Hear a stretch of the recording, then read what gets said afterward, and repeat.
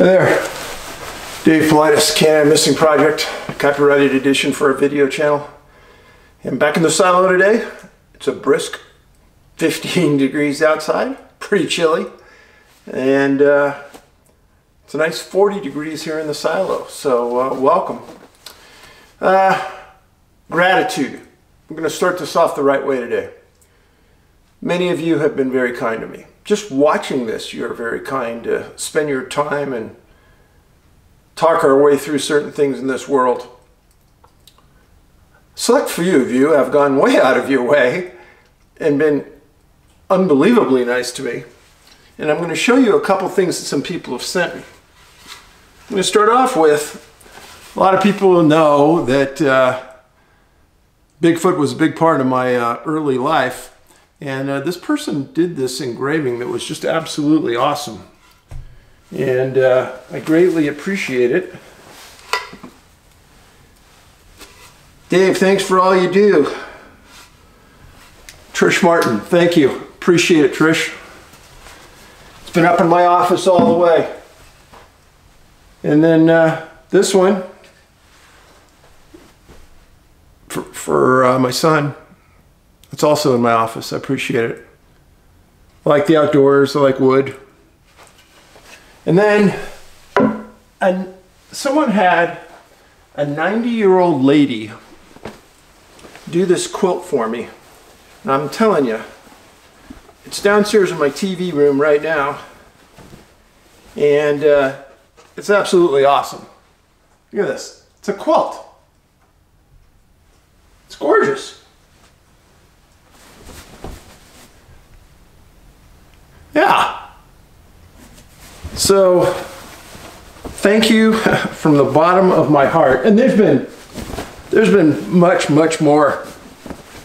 A farm sent me a, a box full of a bunch of goodies, nuts and things, and people sent me little lamps. And there's been too many letters to count and cards. And uh, I'm very humbled by the gratitude. And uh, I think we as people, no matter how little you think you have, you got to be appreciative that you have it. Sometimes I think we lose sight of where we're at in life I wake up every morning and I have huge gratitude for where I am. Thinking where I could have been in California, locked down, wearing a mask, forced to get four different vaccines.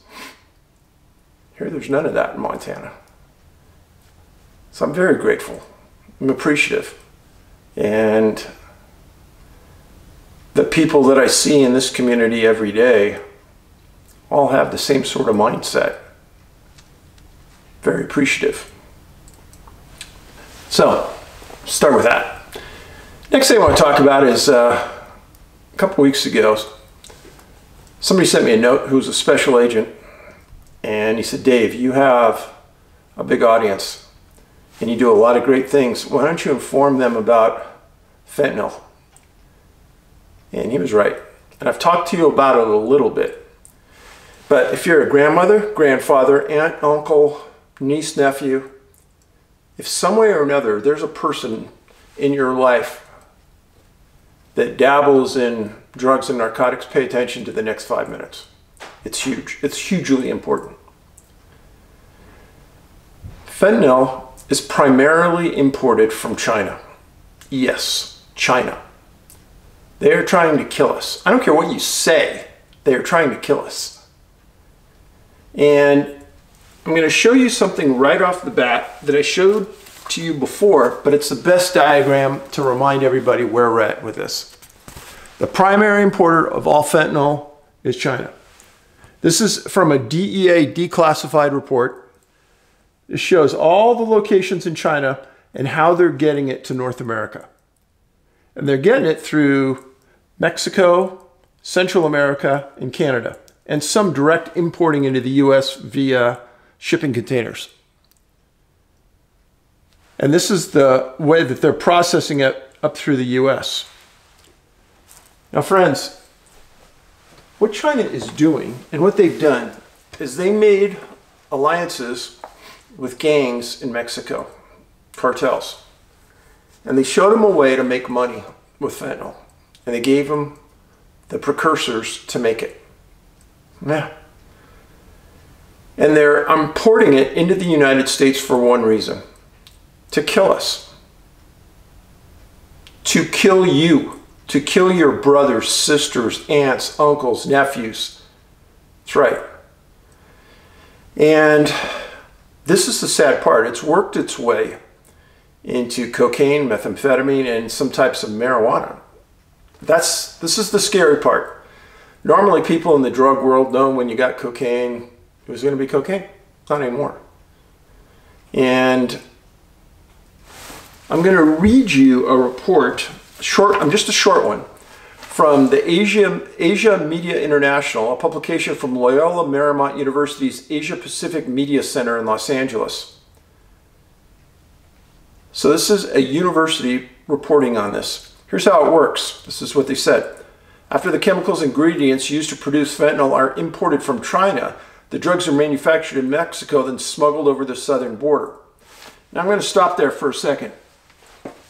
Do you know how many people got across our southern border in November that were not caught? Getaways, they were called. Sit down. 50,000. This was just reported. 50,000 getaways means we know nothing about those people. But the way the drug cartels do it is they take all the people that are paying them money to get them across and they ship them over in mass in one area, like a hundred at a time.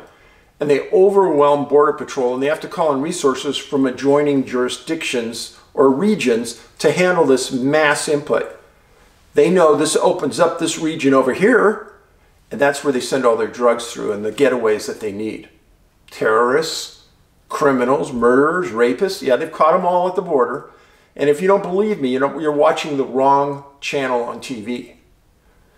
Because certain channels report on this every day. Back to the fentanyl. In addition, cartels can stamp fentanyl into pills, so they resemble prescription pills like Adderall and Xanax. According to the DEA, two out of five of these fake pills contain potentially lethal, lethal doses of fentanyl. Now, if they're making the pills to look like something else and they put a lethal amount of fentanyl in them, there's only one way, folks, this works. They're trying to kill us. Yes. Back to the, writing. The Customs and Border Patrol drug seizure stats exhibit a substantial increase in the total weight of fentanyl seized. So far, the 2021 total weight is 10,500 pounds, which accounts for a 51% of the total drugs seized.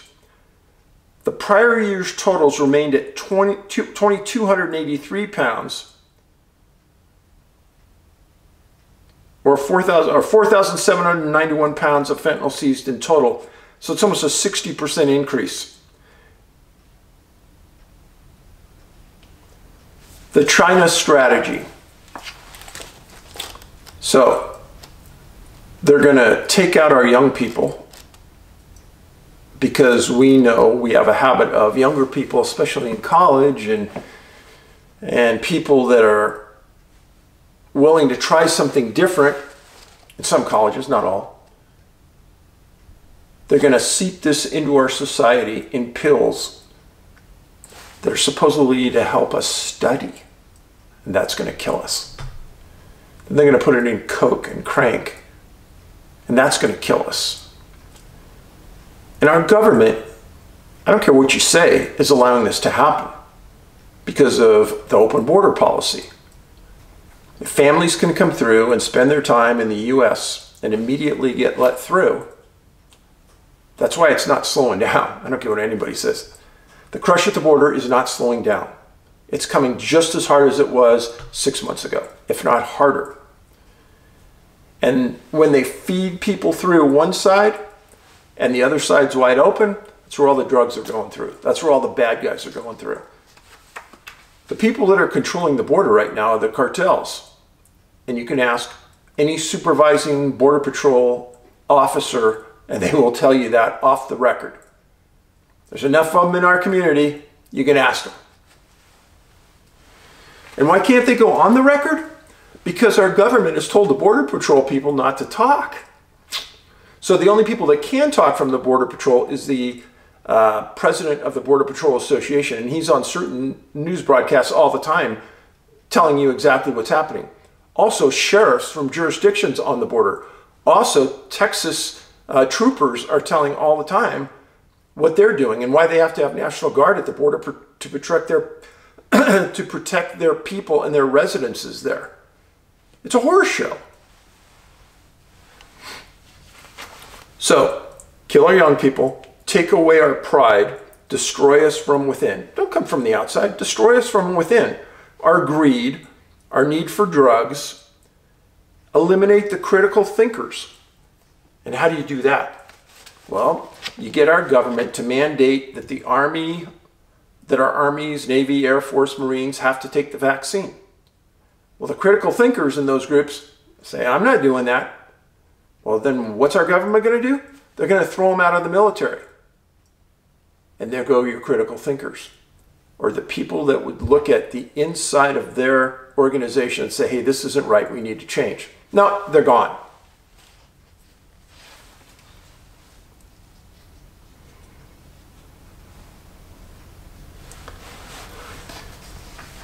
What's going on now is destruction of our world at multiple levels. We have people that have got elected into office with the help of tens of millions of dollars from billionaires to get them elected.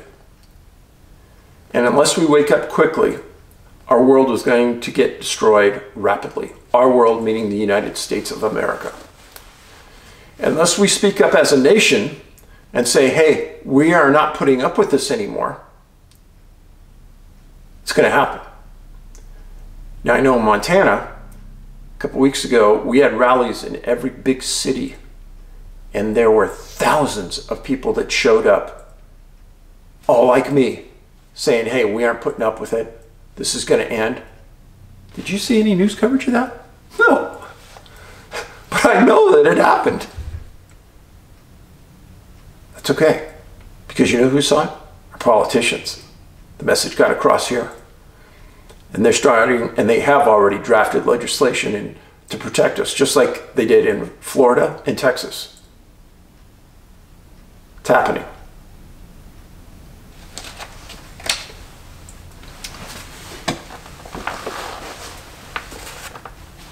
All right, a couple letters. Dave, I'm 30 years old and I live in northeast British Columbia in a town called Chetwynd. I spent my early childhood on a small farm 45 minutes from town. We relied fully on homegrown and naturally harvested meat and produce. As an adult, I continue to live that way. Hunting is a must to fill the freezer every year to feed my growing family. To keep this email short, I will only talk about the most recent oddity. Now, what I did is uh, I printed out a map for you, kind of where we're talking about in British Columbia. So this is Dawson Creek, British Columbia. This is the Alberta border. This is uh, Bear Hole Lake Provincial Park and Protected Area, Tumbler Ridge, Chetwynd, Gwillim Lake Provincial Park. This area right here, really, really thick not a lot of people go there, and it can be dangerous if you don't know what you're doing. Here's a story. Late August 2020, early bull moose season, my wife and I were hunting between Chetwynd and Tumbler Ridge in a remote area. We drove up a small logging road that I have been hunting for many years successfully. We parked the truck and hiked into a two-year-old cut block, maybe about two kilometers. The trail we followed was the old deactivated access road that went along the top of a heavily wooded drainage. Dense with old growth spruce and thick alder and devil's club. The whole area is densely populated with grizzly bears, so the alert is always high. As us in the cut block, we were told frequently listening and glassing for any movement. We began our way back towards the truck early evening, maybe 5 to 6 p.m. Due to the lack of any sign, we were going to check elsewhere. And what he's saying is they looked around, they didn't find any game, there was no sign of any game in the area, so they were moving on. Out of nowhere, we heard a loud sound. It was coming down from above us, following the terrain of the steep hillside, heading straight for us. It was like an extremely loud, vibrating humming sound. I instinctively swung my rifle around to face this thing, and my wife ducked. We were about six feet apart. It was almost surreal and disorienting at the same time. Whatever this invisible thing was flew by between us at about head level. It smashed into the trees below us in the dark timber with a horrible crash of breaking branches and something large landing on the ground. Now, the weird part. that was pretty weird what you said, but yeah. After we heard it hit the ground, whatever this was took off running. Let's just say adrenaline was high and I was trained on that spot already for something to show itself. Thankfully, it took off deeper into the darkness in the opposite direction. My wife was shaking and could barely talk. Meanwhile, I was trying to rationalize the situation. We didn't waste any time booking it back to the truck Curious if you've heard anything like this or similar. Thank for all your hard work. Uh, no. but I probably would have reacted the same way you did. Didn't see anything, didn't hear anything other than that. I definitely would have left. But the question comes in what would have been flying through between you like that? I can't imagine. Interesting story. But I will say, having spent a lot of time in British Columbia in the last 25 years, place has always intrigued me because there is so much unusualness to that area. There is so many missing people in British Columbia that I wrote about missing 411 Canada. Something's going on. Dave, your story about the sounds of the stampede in Wyoming piqued my interest because I've had this experience before. Except in my case, I was about 12 years old, lying awake at 1 a.m. while the rest of the house was sound asleep. And instead of a stampede, it was the sound of a jet engine that I truly thought was going to blow our house apart. I was curled up in my bed waiting for my parents to come upstairs and rescue me, but nothing happened. The noise stopped after 30 seconds and the house was quiet again. As it would turn out, no one else on my family of six heard it. How could that be? It was so loud the entire neighborhood should have heard it. I've heard stories like this over the years on investigations, and I believe I have an answer. It would seem that your stampede did indeed happen, but it happened in the past, and it left a psychic imprint in that area. Normally, these events play on a loop, meaning they occur every six months at the same time or every 20 years at the same time, could your clapping have instigated this psychic event? It would be fascinating to know, and I would implore you to go back to that location and clap again. Yeah, not going to happen. See what happens, please. I would love to know if there's a reaction. The other part of your story that rattled me was the teepee fire by the water. I'd love to know what your dad was thinking that frightened him so. It's a creepy story for sure. Love your videos. Thank you so much for your time and your effort because I really look forward to the days when I know they'll pop up on YouTube. P.S. I know you don't like long emails, so I hope this one's kept short enough. Know that Ben is at peace and he's with you. Pay attention to the little things. Thank you. So my dad and I, in later years, talked about that event. Little tiny teepee about this hall made of wood, right next to the water. My dad kind of thought that there was somebody maybe living in that valley uh, off the grid, or maybe there was a bad guy in there, but he said whoever it was didn't want us to be there. And he definitely didn't want us to see him. So that's why he said, We're leaving. And admittedly, at my age now, if I was with my son and we went into that area, I wouldn't feel comfortable sleeping there knowing that somebody had started that fire and then took off. So. Hi, Dave. I watched your broadcast on November 28th and thought it was excellent. After hearing your request that viewers uh, possibly share some experience, here it goes. I'm 70, a lifetime outdoorsman, and have been alone in the wilds during all seasons from the southern states all the way up to the Arctic and in every hour of the day or night. I'm very comfortable out there which is more than I could say when I'm in town and among crowds of people. That's true. There have been a handful of very odd experiences during all these years, and what follows is my recollection of one that I find really puzzling. I'm a fisherman. Near the end of the third week in August 1998, I was fishing on Lake Jocassee, J O C A S S E E, which is located in the mountains of upstate South Carolina. Part of this 7,500 acre lake is actually in North Carolina and is approximately 60 air miles from Cades Cove, Tennessee. Cades Cove, Great Smoky Mountain National Park, spent a lot of time there, know it very well. The shoreline is undeveloped, and you're more likely to see a bear on shore than a human.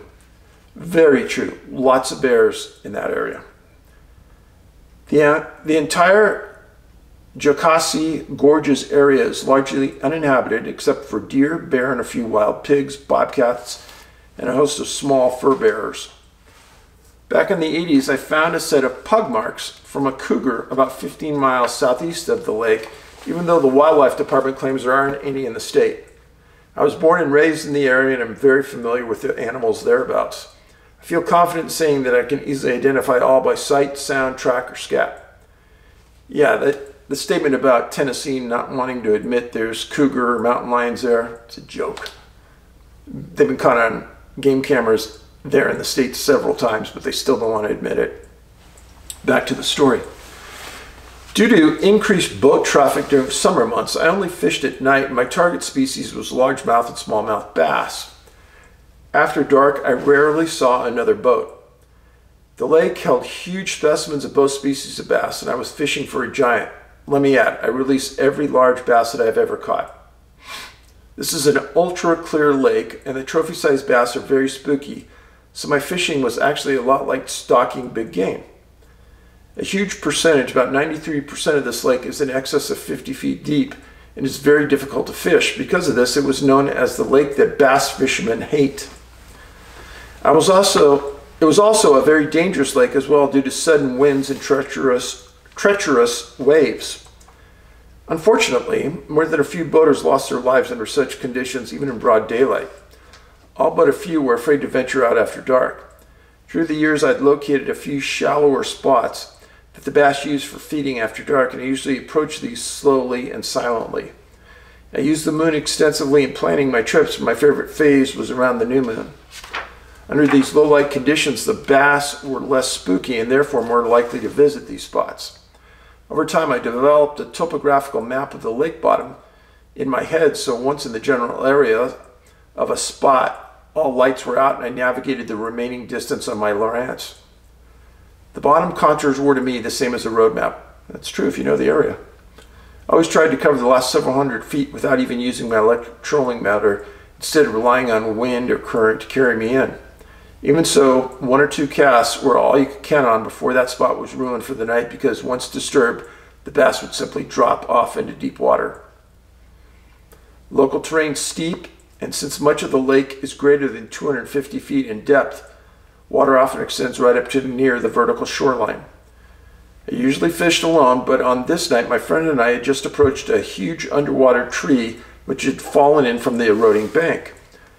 The large root ball of the oak was resting on an underwater ledge. The tree was submerged with the top suspended out over deep water.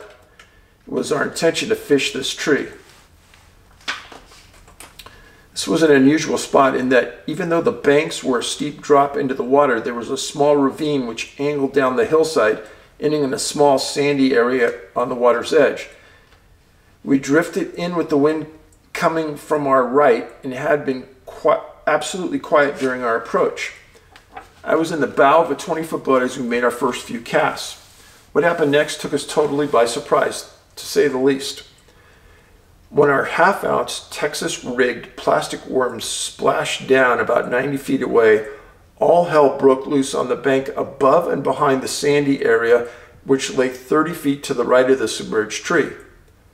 with no visible moon. It was pitch black, and all we had was our ears and sonar unit with which to orient ourselves. Dave, I've had close encounters with bears and moose, moose, but not once in all those years had I ever gotten overly excited. This was different. I've always had the reputation of being exceptionally calm. Some said I had ice water in my veins, but this was spooky. What unnerved me about it was I had no idea what on earth I was hearing. It was a loud, very loud, and I'll try to describe it the best I can in the hopes that it will resonate with you and one of your viewers. It began as a roaring scream unlike anything I'd heard.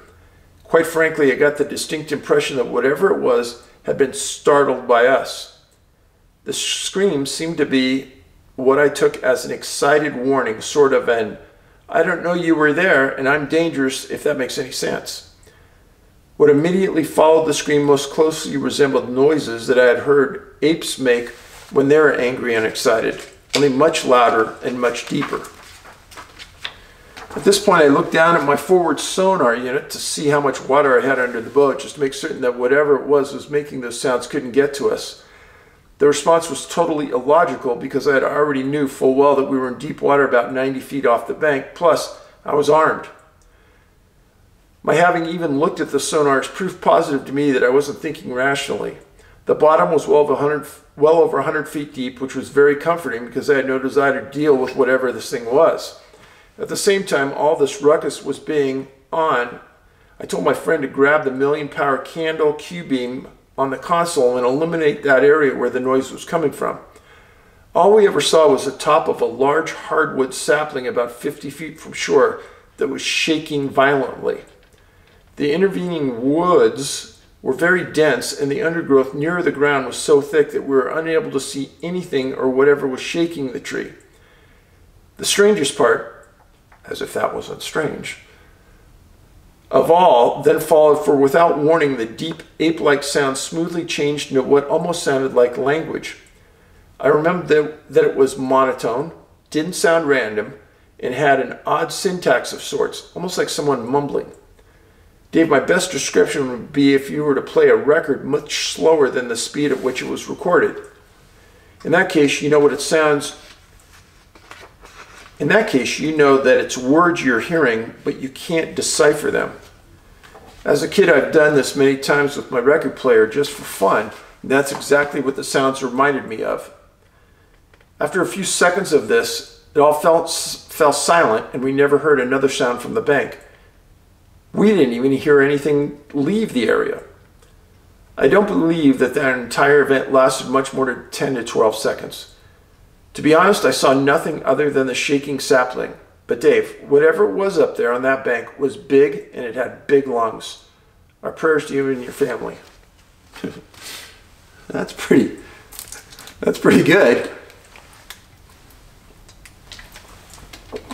I've heard similar things also in that area that he was in. So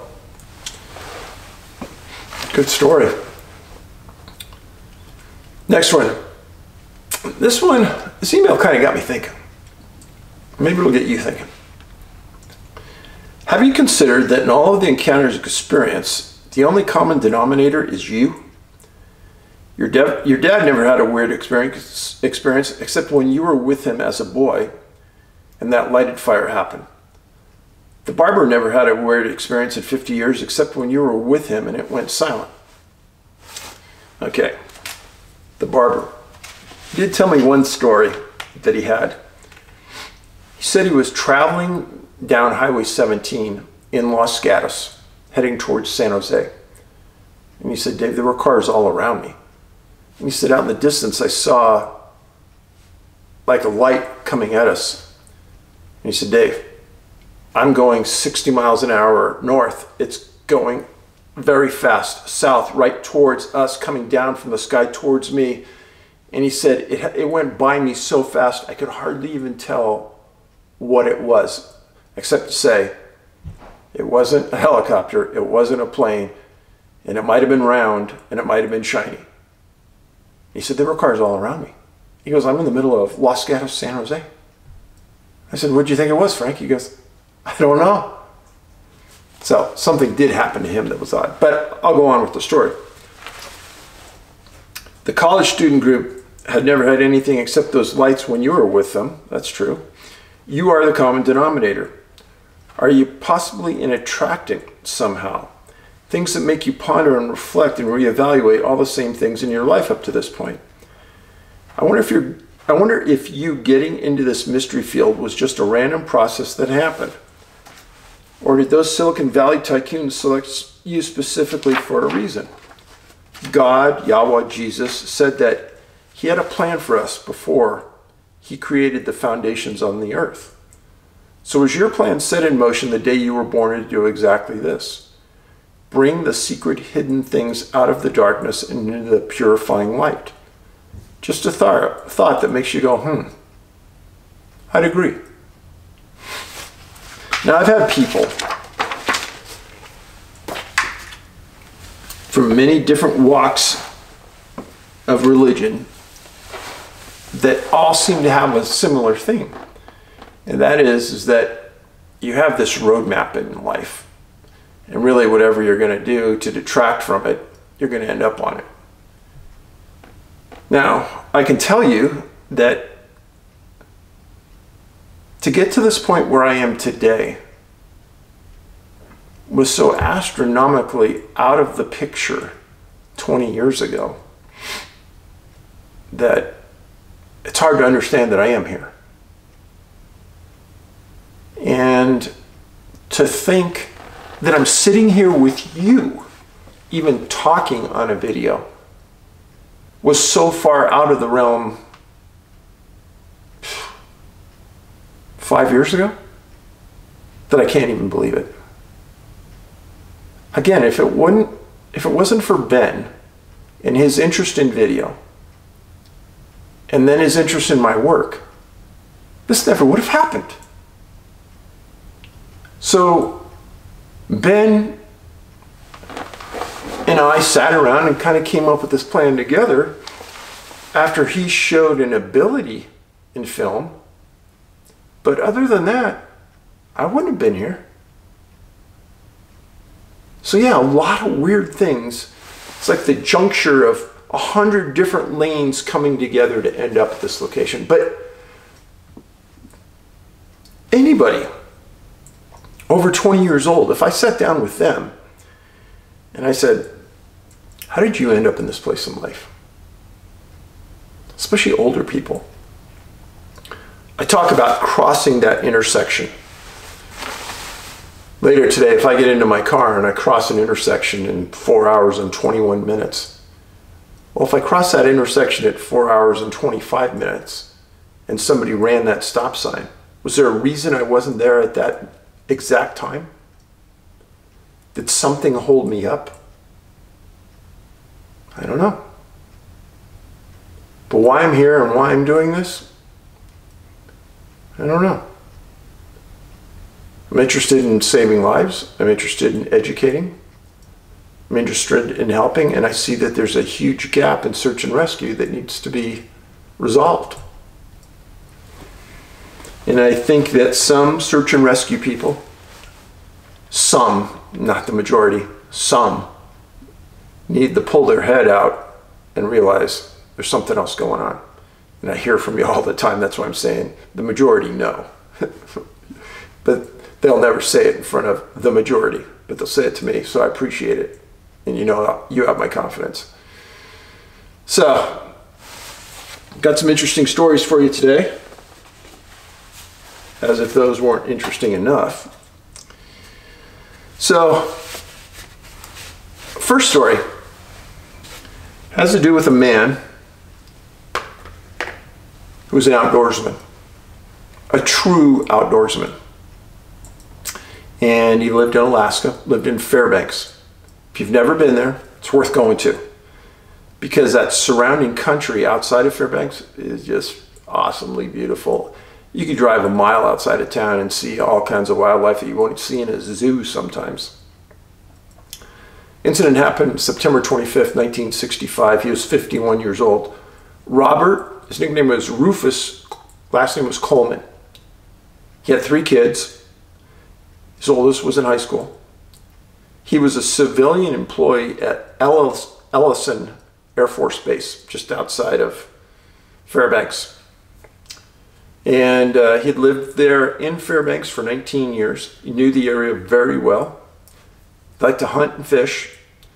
And on that day, he told his family that he was going to go north on the Steese, S T E Steese Highway, and go caribou hunting. Took off, said he'd be back by just a little after dark, came home, and he didn't, didn't make it. His wife got nervous, called the state troopers, and they went out and they found his vehicle parked on the Steese Highway at mile number 76, 76 miles north of Fairbanks. State troopers got together and they immediately started searching. Let me give you a look see. So, big river runs into Fairbanks here. There's another big river right here. This is the Steese Highway. It's mile number 76.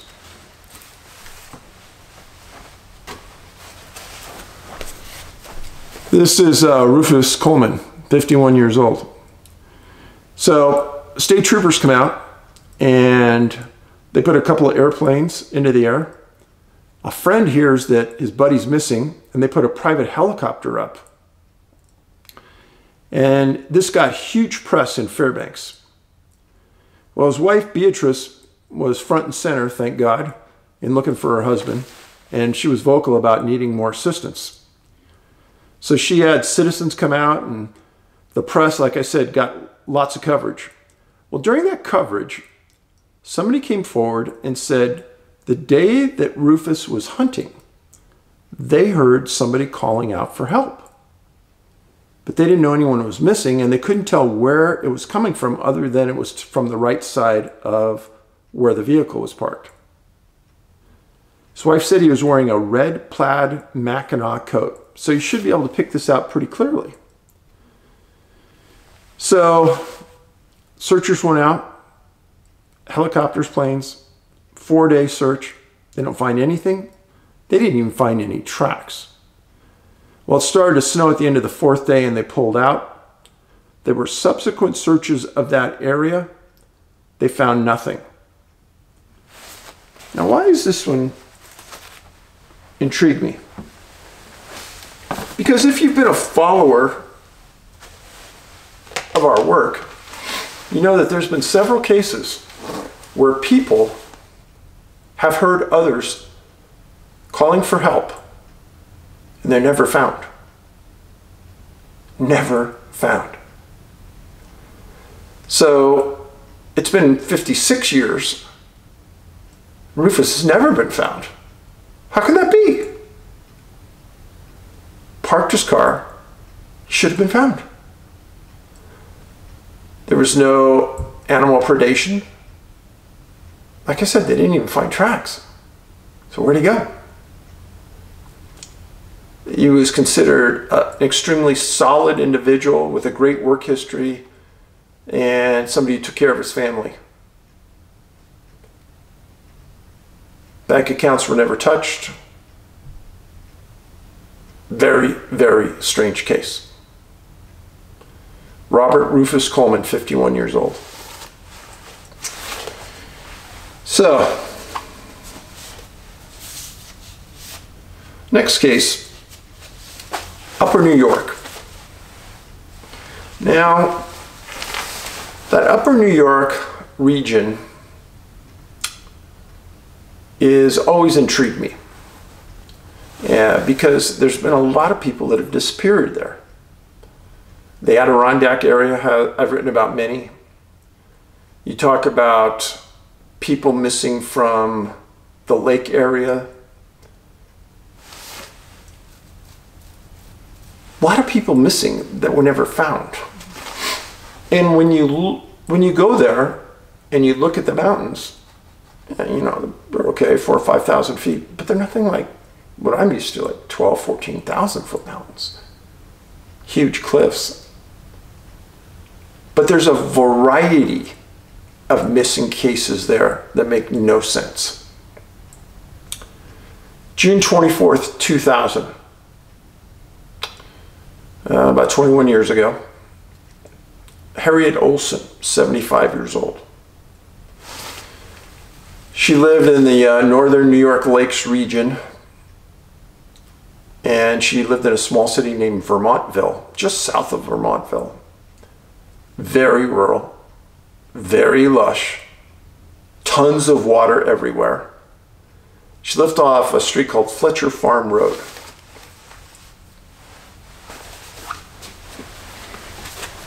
When I say there's water everywhere here, I really mean it. I mean everywhere around this area. This is Vermontville, Fletcher Farm Road, big lake right near it. It's a city called Bloomingdale, Harrietstown, Gabriel's Rainbow Lake. This is a McKenzie Mountain Wilderness area. So in this area, you can't go into it on a car. You can only ride into it on a horse or hike into it. So very, very rural area. So she's, that was her house. So picture Harriet. So she lived with her husband in this very rural home. It's about eight miles north of Lake Placid and about 25 miles southwest of Plattsburgh.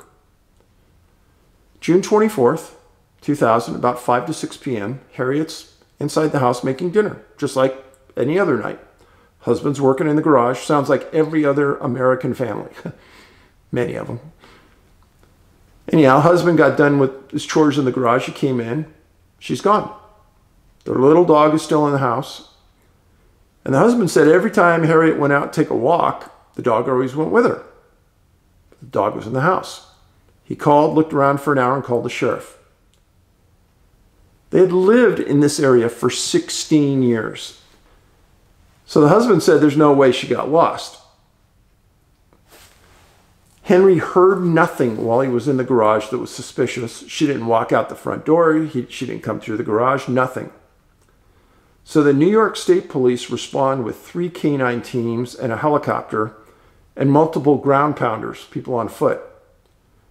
They didn't find any tracks leaving the residence. There was no scent trail. And this is something that really, really gets my goat. I found multiple articles that said that Harriet had showed signs of early dementia, but she hadn't been diagnosed with anything. Ha! What is that? It's trying to give an answer to a complex story so you could just slough it off and not think anything weird happened. Oh, it was just another Alzheimer patient that walked away. No, that's not what happened. So, anyhow, her husband heard nothing. Massive search goes on. It's been 21 years.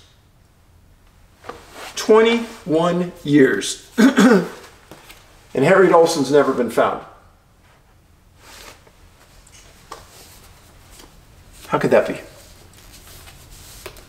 How could the dogs not pick up a scent leaving that house? Well, I want, to, I want to explain something. This area in here, like I said, you could only walk into that or go in on horseback. This is less than a couple miles from their house. And this area has a lot of wildlife. It's a ski resort. But I also want you to know that in this area, there's a lot of residences, you know, four or five acre parcels, 10 acre parcels. But this general area of northern New York up to the Canadian mountains is filled with high strangeness. People have disappeared walking on the side of the road. They've disappeared in the mountains. There's a, a story where an individual was climbing a mountain with friends. He says, I'm just going to walk around the corner for a second. He walks around the corner and he disappears. So, don't know. The other thing, this thing happened with Harriet. It was dead quiet. The husband hadn't heard anything. So he left her in the house, fixing dinner, point of separation. Canines can't pick up any tracks. Water's everywhere. It's a cluster zone of missing people. So, what happened to Harriet Olson? It's easy for us to just push this away and forget it. But I can tell you that there are hundreds of cases of older people that have disappeared in North America and have never been found. Which, from a search and rescue perspective, makes no sense. Canines should be able to pick up on scent trails, and people should have been found. Especially the lack of tracks is absolutely puzzling.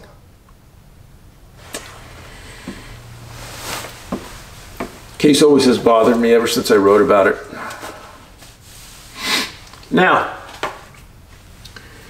if you're a regular follower of this channel, then just a couple weeks ago, you remember I told you a story from an area called Ten Sleep, T-E-N Sleep, Wyoming, and the disappearance of a four-year-old boy named Ronnie Ray from a rural ranch.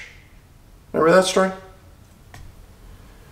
Well, same town, a hunter named Dale Hauger, H A U G E R, 75 years old. October 22nd, 1970. Dale was staying with some friends in Ten Sleep. Well, he was originally from a city called Greybull, and he was a railroad fireman, retired. What does that mean? I had to look it up.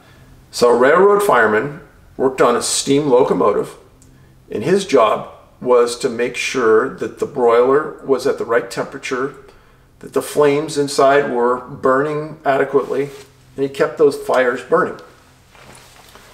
So Dale did that for a lifetime, retired, loved Wyoming, loved the outdoors, had no medical issues, uh, and was in good, decent shape. So he and his friend from Ten Sleep decided to go hunting in the area exactly where Ronnie Ray disappeared. So Ronnie Ray disappeared in 76. This case, October 1970. So Dale was described as healthy but not, not greatly mobile. He and his hunting partner, who he was staying with, got separated, which isn't unusual when you're hunting. But his partner called out for him and couldn't find him. So they call the sheriff and they start a multi-day search. And they bring in everything you can imagine for the search. And they weren't finding anything. So after a five-day search, with it being very cold, the Washakie County Sheriff threw three planes at this, equestrians, ground pounders, didn't find anything. And it was struggling. So they wait until the following spring when the snow melts because they had to pull searchers out because it was so cold and snowing. Wait till the following spring and do the same thing. Find, don't find anything. And the sheriff says, well, hunters in the area, and there'll be many, we'll find them. Well, it has been 51 years and Dale Hauger's never been found. How can that be? So in this one, it's a it's what we call a mini cluster. Two people in almost the exact area disappear just years apart. And within 10 miles of each other. Dale's German, weather, point of separation, and a subgroup of missing hunters. Pretty peculiar, to say the least. Now, every once in a while, this week I got some interesting emails about, well, Dave, it's pretty obvious that there's somebody out there uh, that's killing these people in the woods. It's probably some, some trailside killer.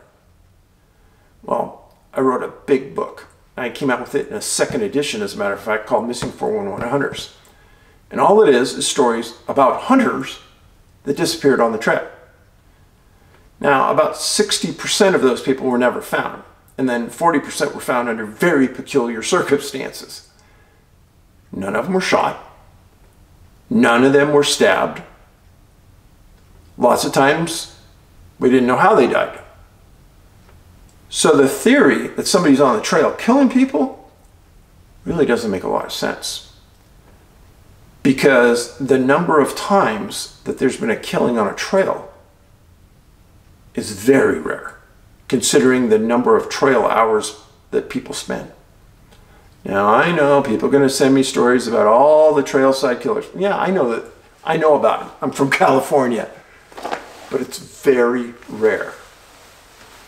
And if you understood the 411 phenomena, you'd also understand that these people sometimes don't even show any tracks from where they disappear. The other thing is, let's say the average hunter weighs 150 to 200 pounds, some weigh much more, but let's just say. The effort it would take to dispose of a body would be huge. I'm 200 pounds. If I tried to pick up and carry somebody else who was 200 pounds, and I'm in pretty good shape, I couldn't carry him very far. I couldn't carry him very far at all. I might be able to drag him some distance. I might be able to push him downhill. But then you got to dig the hole and you got to bury him. Folks, this isn't easy. To dispose of a body so that canines can't find it is very difficult.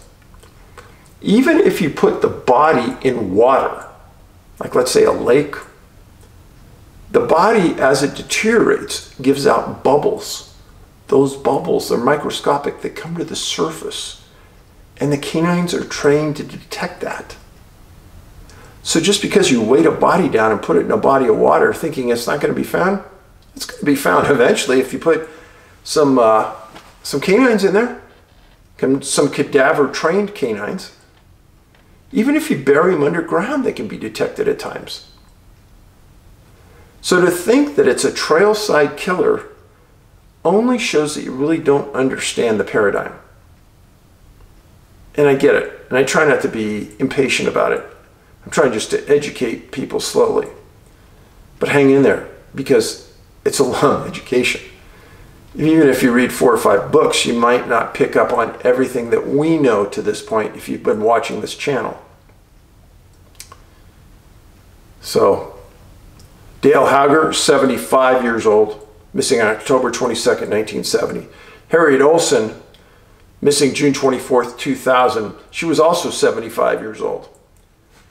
And Robert Rufus Coleman, 51 years old, Fairbanks, Alaska missing September 25th, 1965. So what you do is you have two hunters, two hunters, and one housewife missing from the middle of her home. That is a rare occurrence in what I write about. Very rare. Now, the sheriff spent a lot of time interviewing her husband and completely ruled him out as a suspect, if that's what your thought pattern was. But understanding that Northern Lakes region of New York, when I read the story, it kind of fit in with everything else I know about it. So I'm glad the sheriff vetted the husband, but wouldn't have been a concern of mine. So those are the stories for this week. As I've stated before, I think missing hunters are a subgroup of intrigue to me because they're armed because they're comfortable in the outdoors. They're not an easy target to say. Because hunters are trained observers most times, because they're out there, they're using all their senses to find game, they are going to most likely be the ones that are going to find something that's unusual that I found. But again, I, I'll say this again, and I'll say it probably many more times during the year. I'm interested in unusual stories from the woods. If you want me to withhold your name, I'm glad to. I, I usually don't tell a person's name, but uh, please send them forth. I appreciate it. Uh, it helps with our understanding of what is out there. And I'm very grateful to you, very grateful that you're here and participating. If you look at the first comment below the video where it says the definition, if you're on a TV, you might not see it, but if you're on a computer, laptop, you'll see this.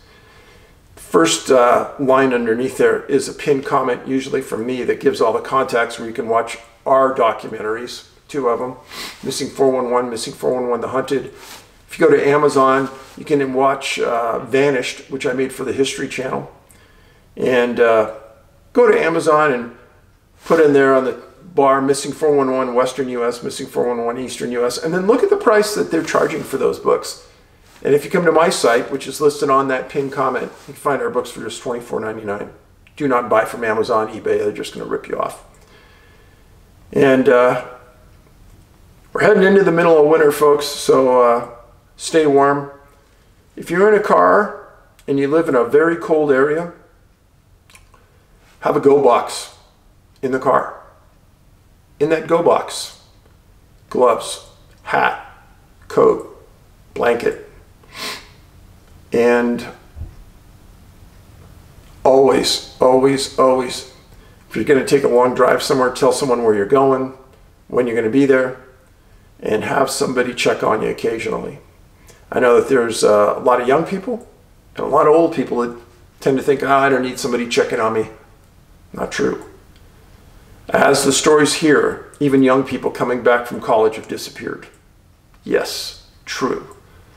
So tell your folks or tell somebody the route you're going to take. Don't be trying to be big and bold and say, I don't need that. Yeah, there's missing people I've written about that have. And if you're going into the woods alone, carry a personal locator beacon. You can read up about those online and you can search for them on Amazon. They all work, they are all effective. So I don't recommend any, but uh, you don't need one that needs a subscription service where you need to pay every month. All you need is one that you activated and it sends search and rescue. Yeah. They're good devices. Everyone who goes in the woods alone should have one. So, thank you for being here. I greatly appreciate each of you. And if YouTube's willing, I'll be here again in the weeks ahead. Paulides out.